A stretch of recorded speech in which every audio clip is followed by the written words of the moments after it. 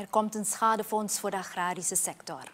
Landbouwers die door de zware regenval en de wateroverlast schade hebben ondervonden, zullen uit dit fonds een tegemoetkoming krijgen. De Raad van Ministers gaf gisteren goedkeuring aan dit fonds. LVV-minister Pralat Seudin zegt dat landbouwers kunnen rekenen op een vergoeding. Alleen is het moeilijk om het volledig bedrag van geleden schade uit te betalen.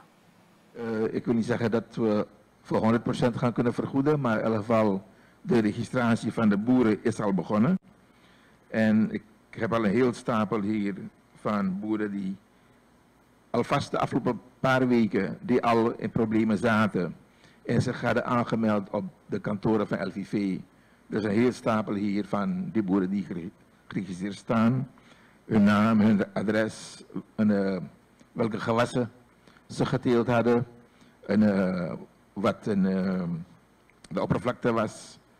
En een schadebeeld van slecht tot een... Uh, anderen hadden gewoon een deel van hun oogst en dan waren ze kwijt. Dus uh, zo'n schadefonds, dat is dan nu in het leven geroepen. Behalve het schadefonds zijn er ook schadeunits opgezet. De schadeunits zijn een samenwerking tussen de ministeries van Landbouw, Veeteelt en Visserij, Openbare Werken en Regionale Ontwikkeling en Sport.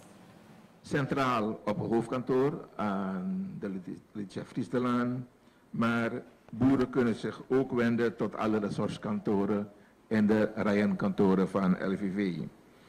En zij die zich daar aanmelden, die gaan formulieren moeten invullen.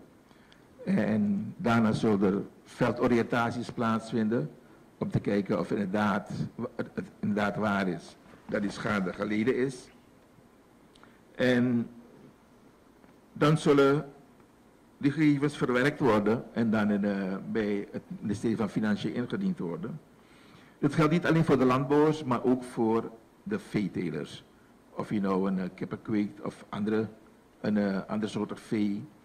Ik, ik merk dat ook heel veel melkboeren een probleem hebben gehad dat hun weilanden onder water was, nog steeds is. Dat alle gras daar verrot, kapot gaat. Gras kunnen ze niet genoeg vinden, waardoor ook de melkproductie omlaag gaat. Minister Pralat Seudin van Landbouw, Veeteelt en Visserij gisteren tijdens een spoedpersconferentie.